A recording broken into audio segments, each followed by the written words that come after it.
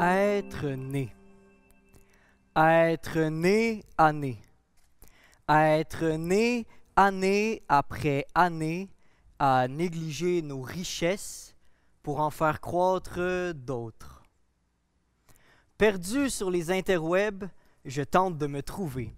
Je surfe des algorithmes d'extra bacon, je m'étripe W, je divague sur l'annonce du nouveau iPhone à partir de mon vieux iPhone. Mon attention chavire finalement sur l'article d'un jeune entrepreneur québécois.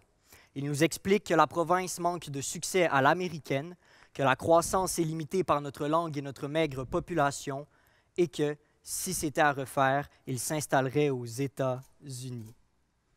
Il se demande finalement si nous sommes condamnés à nous contenter que de peu, et donc si nous sommes condamnés à être nés pour un petit pain. Être né pour un petit pain. Je creuse l'Internet, je descends les années, je remonte le passé, je veux savoir d'où ça vient. Je découvre qu'en 1912, dans une chronique humoristique de la presse, le personnage fictif du père Ladébauche fait part à son cousin américain que quand on est né pour un petit pain, on n'est pas né pour un gros. Et qu'il croit que la ville de Montréal est née pour un simple biscuit à la mélasse, contrairement à nos voisins du Sud, eux, nés pour un gros pain. À une certaine époque, être né pour un petit pain, ça exprimait la précarité socio-économico-culturelle dans laquelle les Canadiens français évoluaient très, peu. L'expression fait notamment écho à la réalité décrite dans les romans du terroir, soit la fatalité d'un destin qui se limite à quelques arpents de terre, à une vie de patates et de pain sec, à une existence enchaînée à l'enchaînement des hivers. Être né pour un petit pain, c'est se limiter à une vie de pauvre. C'est être né dans un environnement modeste, mais c'est surtout s'y résigner. Malgré l'ampleur des changements qui ont marqué le Québec depuis le début du 20e siècle, mes lectures m'ont confirmé qu'être né pour un petit pain est encore une expression bien présente dans nos médias, notamment afin d'illustrer nos moindres moyens, notre carence d'ambition et notre manque de succès à l'image des voisins états-uniens.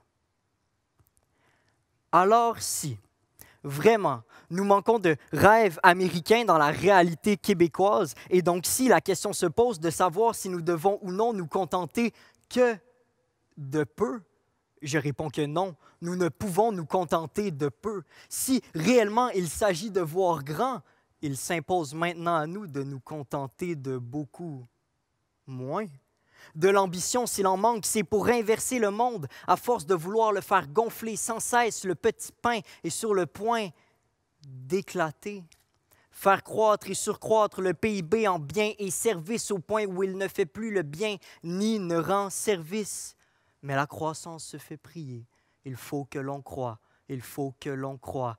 Il faut que l'on croie. Nous sommes des milliards de pèlerins à marcher sur l'oxymore du développement durable et de la croissance verte, avec l'impression d'être nés pour la plus grosse maison, la plus belle voiture ou la plus claire piscine creusée dans laquelle le futur se noie à petit feu.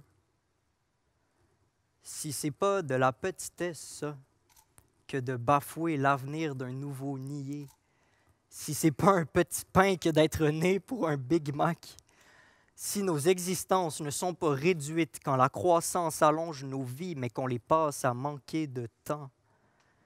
Mes ancêtres n'auraient pas dû naître pour un petit pain. Par contre, nous, oui, il s'impose de revenir au monde pour un petit pain grandiose, un moindre pain, peut-être, mais de notre blé, de notre terre et de nos mains. J'aspire à voir grandiose de ma petite échelle un monde sans besoin de blé plein les poches, où chaque être humain peut en avoir dans le ventre, se nourrir d'avenir et de pain sur la planche. Alors il est temps de décroître pour ne pas léguer la faim à tous les futurs nés. Mettons la main à la pâte pour un suffisant pain, mais de grandes idées.